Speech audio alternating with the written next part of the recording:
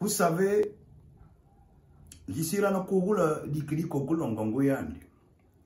littéralement, ça veut dire, il y a un proverbe qui dit l'œuf de la poule avait conseillé sa mère. Bon, on sait que l'œuf ne parle pas, c'est comme pour dire un enfant peut porter du conseil à ses parents. C'est normal. Là, je vais particulièrement m'adresser aux femmes. Quand je vois les femmes, je vois ma soeur et nos mamans. Parce qu'on a constaté qu'aujourd'hui, certaines filles, c'est comme si elles n'avaient pas envie d'aller dans un foyer. À chaque fois qu'elle a un petit problème, automatiquement, elle repart chez ses parents. Oh, je pars chez moi. Tu ne m'as pas connu en route. Petit problème, roule petit problème, la moindre petite humeur, petit, petit, minime soit-il le problème. Elle soulève ses affaires. Oh, tu ne m'as pas connu en route. Oh. Je rentre chez ma mère, je rentre chez mes parents. On a compris. C'est chez tes parents. C'est normal.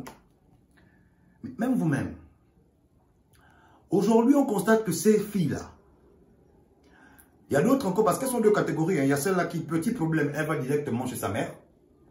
Il y a d'autres là, tous les jours, elle est chez sa mère. Peu importe la raison. Petit truc, ben, je vais chez maman. Bon, encore que, euh, voilà, des moments, si euh, maman est malade, c'est normal. C'est normal. C'est normal que, voilà, pour des besoins d'assistance, elle a besoin d'y aller tous les jours, etc., etc. Ça, c'est clair. C'est normal. Mais à d'autres, il y a des moments, maman n'est pas malade. Elle n'a aucun problème. Petit truc, je vais chez maman. Petit truc, je vais chez maman. Mais dès que l'homme essaie de dire même que, mais toi, c'est comment hier tu... Ah non, non, non, tu n'es pas là pour venir séparer avec mes parents. Mais ce n'est pas tant te séparer avec tes parents. Aujourd'hui, tu as un foyer, tu as des enfants, tu, tu dois t'occuper de ta nouvelle, ta nouvelle maison, c'est chez toi.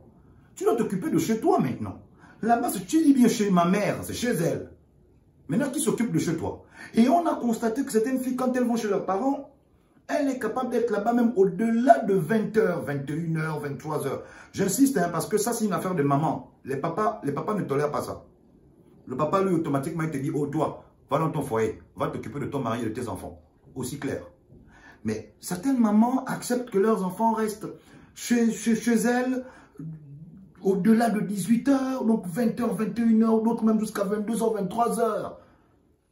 Ce n'est pas normal. Ce n'est pas normal, la soeur. Tu as un foyer. Qu'est-ce qui ne va pas? Tu as un foyer. Et aujourd'hui, à chaque fois que tu vas parler de ça, automatiquement, elle va dire, oh non, tu veux séparer de toi, oh non, euh, tu ne me sépares pas de mes parents, etc., etc.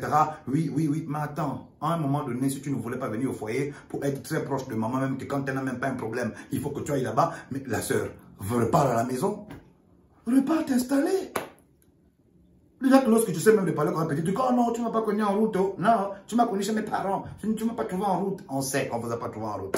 C'est normal. Vous le savez qu'on vous trouve en route, pourquoi?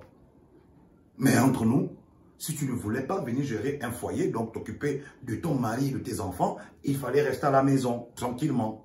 Personne ne devait venir te parler oh non, il faut que tu rentres à une certaine heure. Et vous aussi, les parents, arrêtez, surtout les mamans, là, nos mamans, arrêtez de garder les femmes, vos enfants, quand elles sont déjà au foyer, au-delà de 20h, 21h. Ce n'est pas normal. Il faut qu'elles rentrent chez elles. Elle a sa maison. Arrêtez ça. Donc on peut pas, on peut pas, on peut pas tolérer ça. Une Jusqu'à quand? On va arrêter ça. Oh, arrêtez.